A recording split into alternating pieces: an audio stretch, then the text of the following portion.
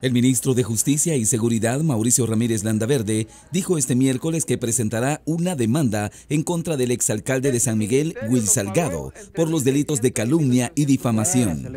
Esto a raíz de las declaraciones del exalcalde en el programa televisivo Hablemos Claro, donde acusó al ministro de corrupción con relación al proyecto de brazaletes electrónicos. Will Salgado con sus declaraciones me atribuye delitos, me atribuye el haber cometido delitos al decir que observo una conducta homicida reiterada. Él se refiere a mi persona diciendo de la siguiente forma, y cito, está acostumbrado a cohetear gente. Con tal aseveración, él comete el delito de calumnia al atribuirme el cometimiento de delito.